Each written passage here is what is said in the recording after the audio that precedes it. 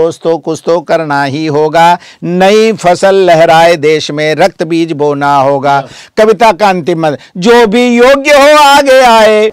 तो मुझे वो बहुत मतलब मेरे दिल को भाई वो तो मैं चाहता हूँ कि हमारे दर्शकों के ज़रिए अगर उन तक पहुँचे आपके ज़रिए दर्शकों तक। बहुत अच्छा। दूर खड़ा मैं देख रहा हूँ देश में परिवर्तन होगा और नीच नेताओं का इनके हाथों मर्दन होगा। अब जो 21-18 वर्ष के जो चुनाव आप आप ये विवाद में हमारे रिलेशन खराब मत करो। आप आप मुकदमा लड़ो ना काम नहीं है। उपेंद्र अणु जी ज़िंदगी को लेके शायर की एक अलग रोमांच होता है। बहुत सारी चीज़ें हैं। पर साफ़ न हो पाए किस्मत के जो जाले हैं। सूरज को भूला मत देना। विश्वास दिलाते मन से कितने मेले हैं। हे अबोध अभिमन्यु तुमको भूलन वो दोहरानी है। उन चेहरों पे हैं चेहरे। अच्छा। जो ढूंढ रहे हैं अणु। चेहरों पे हैं चेहरे। अच्छा व्यास जी मैं कल आपकी दी हुई मैं एक पुस्तक पढ़ रहा था जो मैं मुझे मिल मिल गया है। तो मैं उसमें बहुत सारी खैर उसमें तो हर चीज़ ही आपने बहुत काबिल तारीफ़ लिखी हुई है पर मैं एक चीज़ पढ़ रहा था।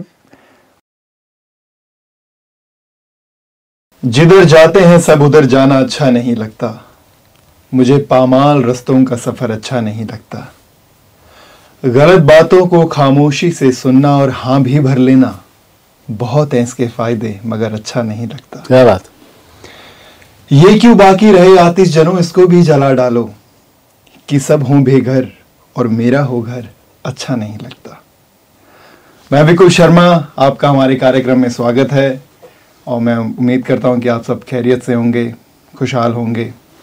और मैं एक बार फिर कवि और उसकी कृति में आप सबका स्वागत करता हूँ हमारे दो मेहमानों के साथ उपेंद्र अणु जी का स्वागत है और हमारे बुज़ुर्ग राजेंद्र गोपाल व्यास जी का। पिछली बार हमने बहुत दिलचस्प कविताएँ, शायरियाँ, गज़लें, बहुत अच्छी बातें कही।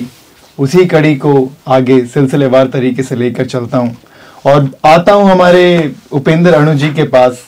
साहित्य अकेडमी से पुरस्कार से नवाजे जा चुके हैं तरह तरह की पुस्तकें लिख चुके हैं, बहुत अनुवाद करते हैं।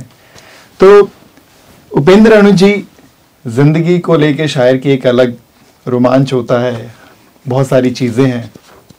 तो आज हमारे बीच में आप कुछ ऐसी चीज़ हमारे दर्शकों को हमारे लिए जिससे हम कुछ सीखें दो नई बात वो क्या है आज? कहाँ से शुरू करेंगे आप? अच्छा मूड जिसे कहना चाहिए। जी। वातावरण अच्छा बना दिया तो कुछ इसी प्रकार की बात। एक मुक्त के माध्यम से प्रारंभ करता हूँ मैं। तुम किसी के दर्द को तुम किसी के दर्द को अपना बना कर देख लो। बहुत बढ़िया। तुम किसी के दर्द को अपना बना कर देख लो तुम किसी के घाव पर मरहम लगा के देख लो। बहुत बढ़िया। बहुत- व्यास जी। कि तुम किसी के दर्द को अपना बना कर देख लो तुम किसी के गाँव पे मरहम लगा के देख लो। तुम खुशी सच्ची जो चाहो तुम खुशी सच्ची जो चाहो तो मिलेगी इस तरह। तुम किसी मजलूम के आँसू उठाकर। देखो तुम किसी मजलूम के आँसू। उठाकर देख लो। और निवेदन करना चाह रहा हूँ। जी। एक कथा एक मुक्त और कहने का जी जी। मन हो रहा है। किया है तुम पे भरोसा तो दगा मत देना। किया है तुम पे भरोसा तो दगा मत देना। तो दगा मत देना। बिल्कुल। रूप के दंभ में सूरज को भुला क्या बात है क्या बात है। रूप के। दंभ में। सूरज को भूला मत देना। प्रीत है नाम समर्पण का सुनो जाने मन। प्रीत है नाम समर्पण का सुनो जान मन। कभी पलकों पे बिछा करके गिरा मत देना। कभी पलकों पे गिरा करके बिठा मत देना। और मैं दर्शकों के लिए एक मुक्तक और निवेदन फिर अपनी गज़ल पे आऊँगा। बिल्कुल। मंच पे जाते हैं। हाँ जी हाँ जी। तो सबसे बढ़िया हमारे खेर ख्वा दर्शक ही होते हैं। बिल्कुल। जनता जनार्दन है साहब। प्रणाम करता हूँ। हाँ जी बिल्कुल। तुम्हारा साथ सदा ही हमें सुहाता है। वाह। तुम्हारा साथ सदा ही हमें सुहाता है। किसी वीरान में कोई फकीर गाता है। बढ़िया अच्छा है। किसी वीरान में कोई फकीर गाता है। अकेले बोझ सी लगती है ज़िंदगी हमदम। सफ़र में तुम जो संग हो तो मज़ा आता अच्छा है। सफ़र में तुम जो संग हो तो मज़ा आता है। और एक गज़ल कहने का मन हो रहा है। इरशाद स्वागत है। कोशिश कर रहा हूँ। जी। घरों के सताए हैं। कैरों के सताए हैं। हैं। अपनों ने निकाले हैं। वाह क्या मतलब है? गैरों के सताए हैं। अपनों ने निकाले हैं। गैरों के सताए हैं। अपनों ने निकाले। अपनों ने निकाले हैं। तूफा से डरे अब क्या? मौजों के हवाले। तूफ़ान से डरे अब क्या? मौजों के हवाले हैं। शेर देखिएगा। जी। दुनिया के नशे मिलकर दुनिया के नशे मिलकर भी कितना हिलाएँगे। अच्छा अच्छा दुनिया के नशे मिलकर भी कितना हिलाएँगे। हम जहने जफा पी कर भी खुद को संभाले हम जहने जफा पी कर खुद को खुद को संभाले हैं। ढूंढा किए बरसों तक। तो वैसे चाहूँगा वैसे। ढूंढा किए बरसों तक। खुद अपने में अपनों को। अच्छा। ढूंढा किए बरसों तक। खुद अपने में अपनों को वो पर साफ़ न हो पाए पर साफ़ न हो पाए किस्मत के जो जाले अच्छा। पर साफ़ न हो पाए किस्मत के जो जाले हैं। हर हुक्म को माना है। हर बार मगर अब भी हर हुक्म को माना है। हर बार मगर अब भी अफसुरदा अंधेरे हैं नाराज़ उजाले हैं अफसुरदा अंधेरे हैं नाराज़ उजले और मक्ता जी जी। अर्ज़ कर रहा हूँ जो ढूंढ रहे अणु को उन चेहरों पे हैं चेहरे। अच्छा जो ढूंढ रहे हैं अणु उन चेहरों पे हैं चेहरे। जो ढूंढ रहे अणु को हर चेहरे पे है चेहरे। चेहरे। खंजर लिए हाथों में खंजर लिए हाथों में कांधों पे दुशाले हैं बढ़िया। खंजर लिए हाथों में कांधों पे दुशाले हैं गेरों के सताए हैं। अपनों के निकाले हैं। अपनों ने निकाले बहुत बढ़िया बहुत बढ़िया बहुत बढ़िया। गैरों के सताए हैं अपनों ने निकाले हैं। बहुत बढ़िया अरुण जी बहुत बढ़िया।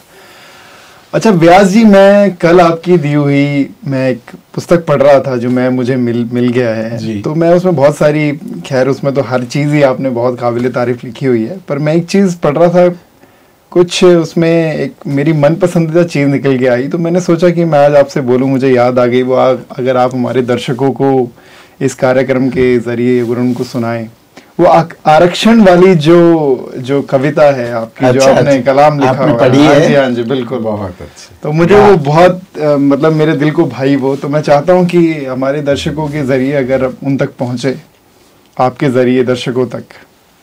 बहुत अच्छा।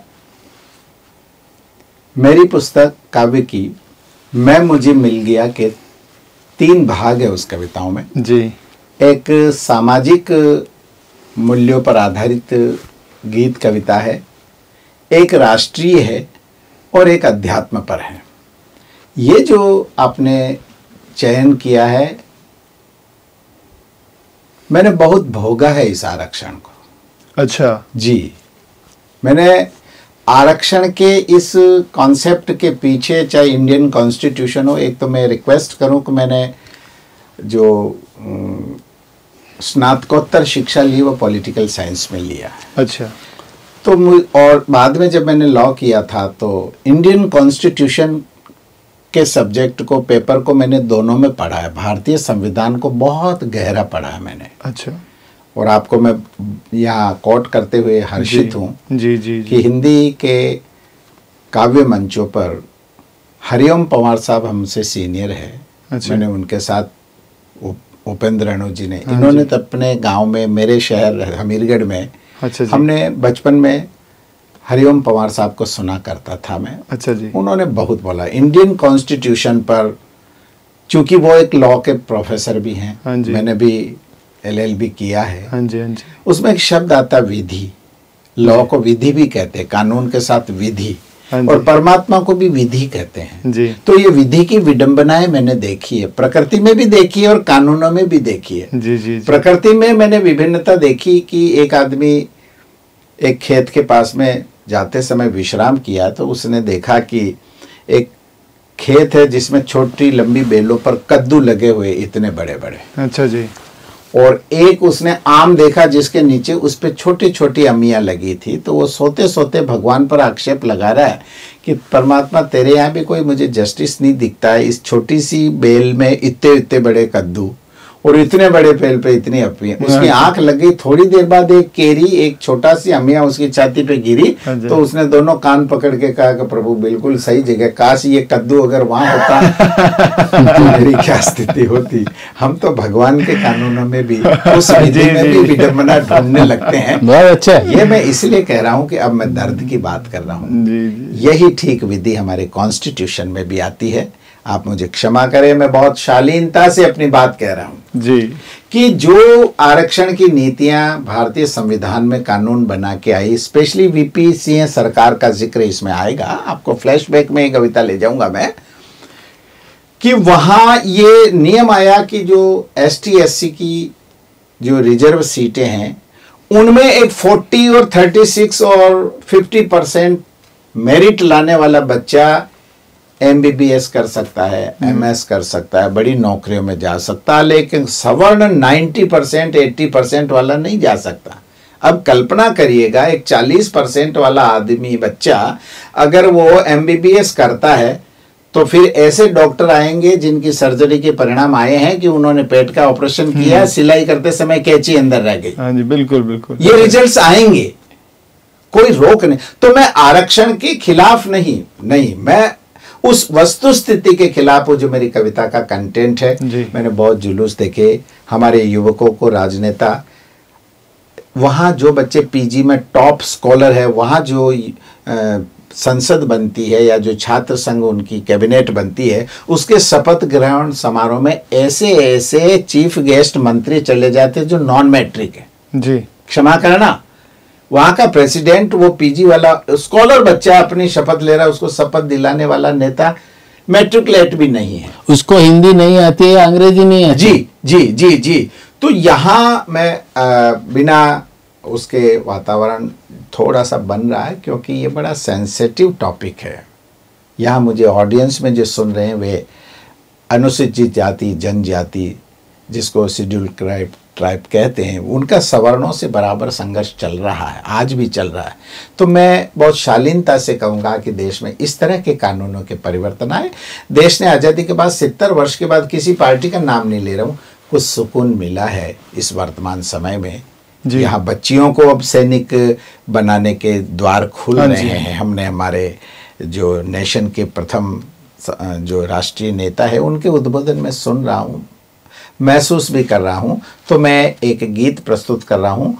उसके लिए आप एक छोटा सा छंद पहले सुना दो। बिल्कुल सर। क्या कोई पति पेड़ से लड़कर हम अंतर कलह में बहुत जाए हमारी एनर्जी लड़ने में बहुत जा रही है।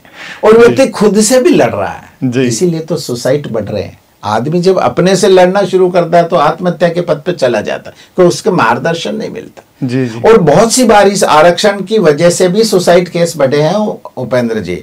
जब एक सवर्ण बच्चा अच्छे अंकों के बाद अगर किसी में सिलेक्शन नहीं होता तो वो क्या करेगा घबरा के? शायद आत्महत्या करेगा। तो मैं कहता हूँ लड़ना नहीं चाहिए। क्या कोई पत्ती पेड़ से लड़कर कभी सुखी हो जाती है?